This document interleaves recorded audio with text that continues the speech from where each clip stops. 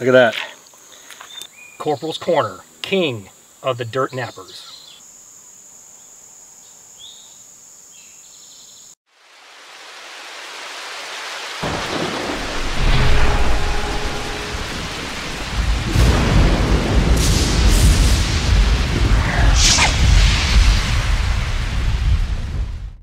All right, it's that time again, time for another solo overnighter in the woods. And I'm thinking I issue myself a challenge. Solo overnight building a fighting hole at 46 years old. Let's get to it.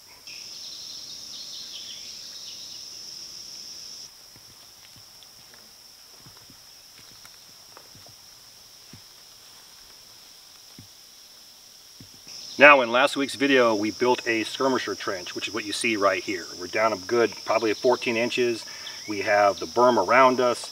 It's enough to get in there, hide your body, still be in the prone position with a rifle and be able to shoot outward in that direction. Okay, and also if small arms fire were to come this way, six to 10 inches of earth should stop them. Okay, it's a simple thing that's used by the military all over the world.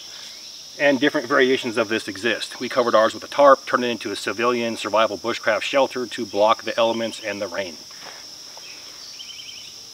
So now taking the same structure, I'm going to go ahead and push the berm forward and give myself an elbow rest, okay? Then I'm going to dig down to my chest depth, somewhere in there, right around here, and increase the width of our berm.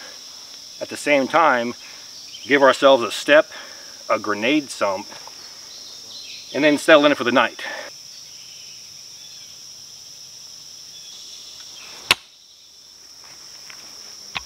So I'll use the head of this shovel right here as a marker for distance. I'm happy with that distance right there.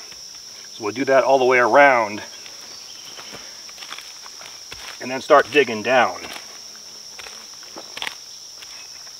I call it an elbow rest for your rifle, but honestly it keeps the dirt from rolling back in there as well.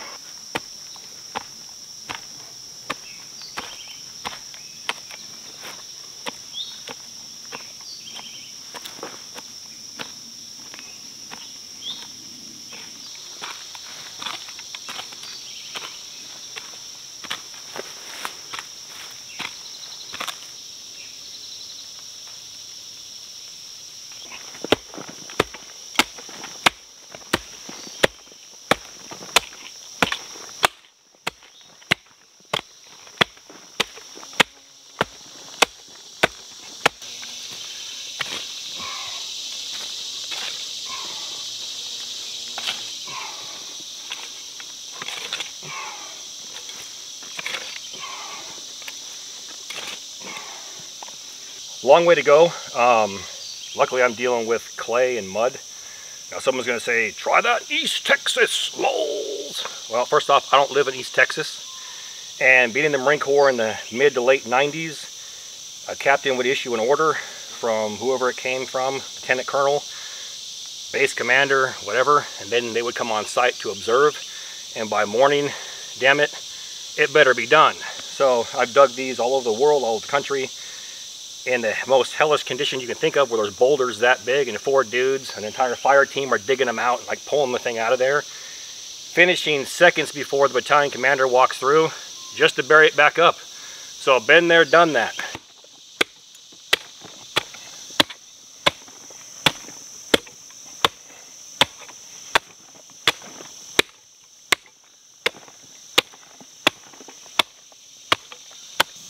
So I'm soaking wet and I'm about halfway done. It's about 85 degrees today with about 70 to 80% humidity and this sucks. It's like being in Okinawa, Japan or Thailand somewhere. Um, so we're making headway and I'm hoping the next couple hours, I'm giving myself two hours, we should be right around my chest depth right here. That includes the berm. So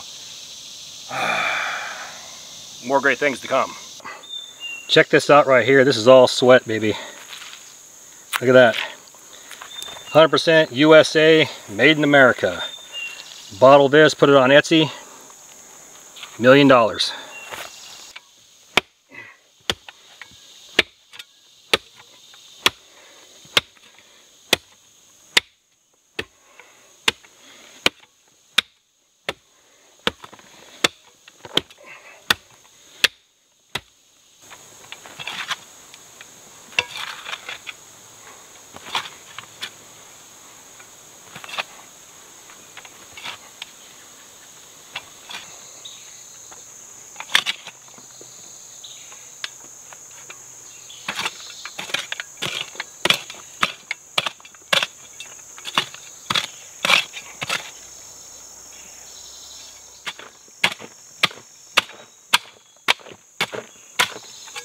Another foot or so, we should be in business. But I am a white boy and this hole ain't gonna dig itself. So back at it.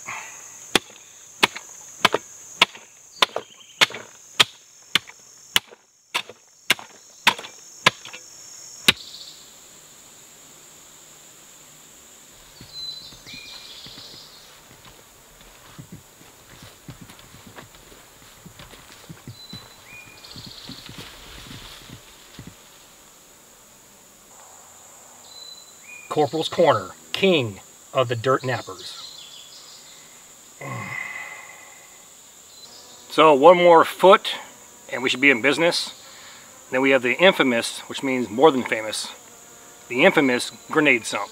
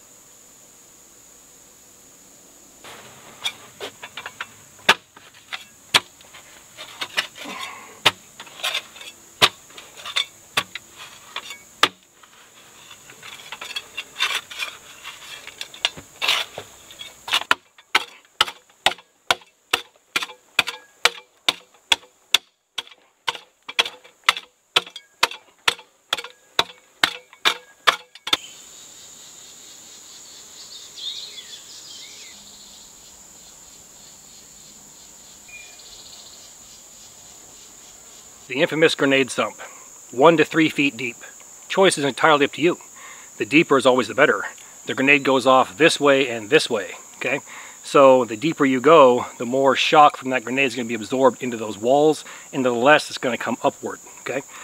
So typically a grenade is launched, three to five second burn time. It's going to be hurled into that fighting hole. If you happen to see it, you kick it into the grenade sump, roll away, and if you played your cards right, you live to talk about it.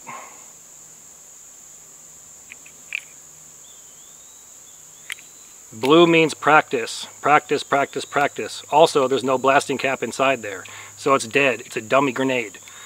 World War II design has this waffle cone on here. Typically grenades, 45 feet or 15 meter casualty radius, meaning you may live, or a 5 meter, 15 foot kill radius, means you may die. These small pieces of waffle right here break off, hurl through the air, molten metal, blast to rip through your body like it was butter, okay? The round ones nowadays from modern times are called baseball grenades. So, grenades typically have three safeties, a thumb clip, which mine is missing, a pin, and then the blue spoon. In that case, the real ones are green. The grenade will not go off as long as that spoon is held down. So, thumb clip, flip it, pin, pull it, hold on to the spoon, prepare to throw, you throw it, and hope for the best.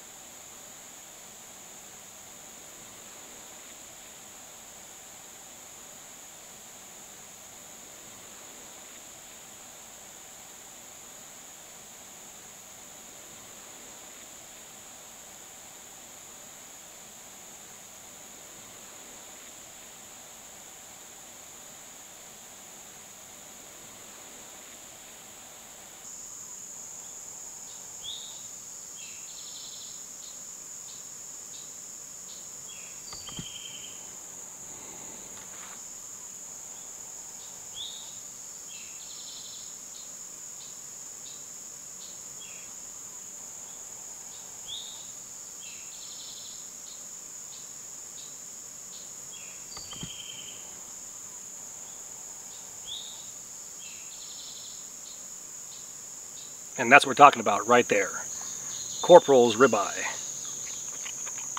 That is outstanding. And it goes perfect with this meat fork. Talk about that in a minute. Catch you all in a few.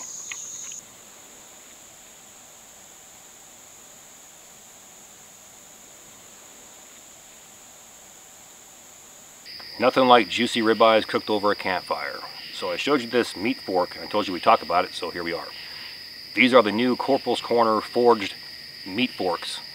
If you look at it, it's basically a large version of my forged forks that I carry in my store.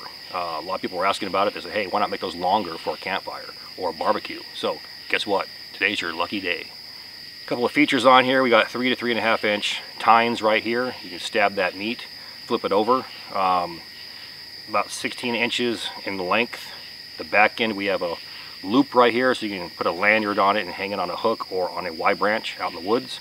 Most important feature to me is that loop back here is actually kicked upwards and here's why.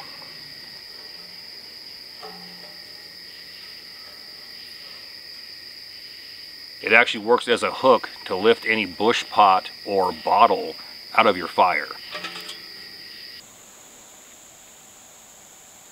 I think it was a midweek video, I talked about one bushcraft tool to rule them all. And I made basically a pot notch and then shoved a stick inside there to take a bottle out. The same thing can be done right here. Put a stick in there, put it, wedge it into your bottle, the wide mouth of your stainless steel bottle, lift it out of the fire. So here you go. Along with this, we have our cold handle skillets, military surplus gear, hat patches, OD green bag patches are back in stock. We have the gray ones as well and combo packs to that are basically designed to conserve or reduce the shipping cost and they're actually at a lower price as well buying them in bulk. What else do we have in there? We have our forks, we have our strikers, which are going crazy by the way. Um, the sparks just rain off those bad boys like it's a meteor shower. And we have our um, frog gigs. Lost in thought there for a minute. So go to my video description box, click on the Etsy page, and good luck, because the Etsy store is open. So the one thing I'll address really quick here, because someone's going to ask about it, is where do you get that grill? Okay, it's 6 inches wide by 12 inches in length. comes with this carrying case, this wax canvas, from a company called Drix, and that is found in my Amazon affiliate link right next to the Etsy and Hardcore Hammers link in the video description box check them out. Um, send them a comment, text, and let them know I sent you. Um, very happy with these. I was never happy with those small, you know, three and a half inch wide by nine inch. You can't get large steaks on there or multiple steaks. I mean, you can, but it's all smashed together. Um, I've always been a fan of these large grills, um, and these are very, very versatile. At some point in the future, I'll actually put a video out showing you all the things you can do with just a grill. Um, saves weight, conserve space. Um, we'll get to this down the road, maybe a midweek video. Um, but yeah, check them out. Link is inside my video description box. You know, you lay here and you actually, it looks like a grave. All the times I've done this, all over the world, all over the country, you know, you're what, 18, 19, 20, 21, 22, um, just out of high school, and don't really stop and think about it, but you know, here I am 46 years old. I just accomplished something, the same thing I would have done when I was 22. So, and we did it in about four and a half, five hours, okay? And am I happy with it? Yeah. But sitting here reflecting on this, it's like, if I live to be 92, my life is half over. So there's fewer days ahead than there are behind. And at some point, I'm to be laying inside this bad boy. For real taking the ultimate dirt nap. So something to think about as I look around these walls closing in on me. You know, it's like got to make every day worth it. So on that note, I'll catch you all in the morning.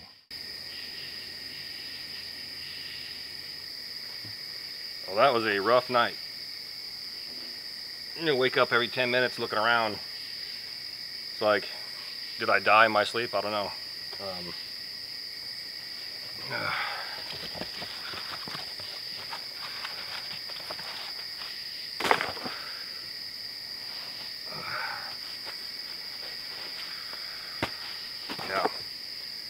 Coffee time. Uh. Uh.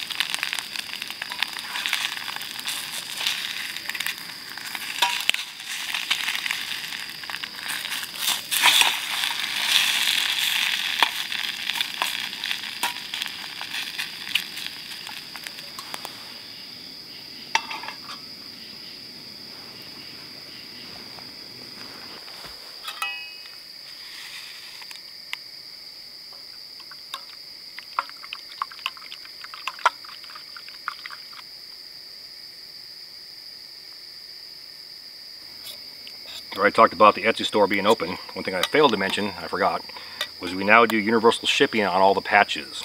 So those in other countries that want to get a hold of some of the Corporal's Corner swag, hat patches, bag patches, universal patches, combo packs, check it out. Universal shipping is now available. Catch you all in a few.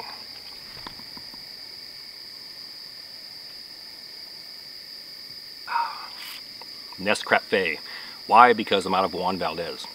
Let's go and talk about that shelter military fighting hole. Um, one thing we didn't put in was aiming stakes and fields of fire and do a range card. Why? Because that's all military. We're civilians now, okay? Um, no point doing that. And with that, I have to put a weapon out there and show you how it works. And like I've said, I'm not showing weapons on my channel. And someone's going to say, well, so-and-so shows weapons on their channel. Two things. Watch so-and-so's channel if you want to see weapons. Two, so-and-so will only get away with that for so long or it's like making militant podcasts or anti-government podcasts. You're going to get away with it for so long, and then YouTube's going to slap your hand, and then you're going to see so-and-so doing eugenics Total T commercials on Facebook, like a few are, because you're demonetized. And that's a fact. Um, so you're not going to see me do anything like that on my channel. However, I can show you this because why? It's a shelter. And the challenge for me was I'm 46 years old. Um, did this in the mid 90s um, when it was famous and still used um, all over the world, all over the country, different bases, um, different terrain. So I know it can suck. Um, but the challenge was for me, again, I'm 46. Yes, that's me in the middle right there. Team leader, AF. Here's to you, boys. So I did this in 2012 and I was 35 then, okay? And I did it just to do it to see if I still could. And now we did it 11 years later and I still can, but I'm asking myself, why would I want to? So most likely that's my last hurrah for digging something like that and I probably won't do it again.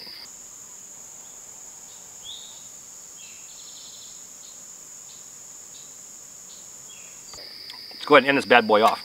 With that, all the gear in my videos can be found in two places. One, my Amazon influencer page, and two, my Etsy store, or my Etsy page. Both links are found inside my description box. Now please do me that favor, hit that like and subscribe button, then ring that notification bell. Once you ring that bell, please select all notifications. And as always, thank you for your comments, views, and support.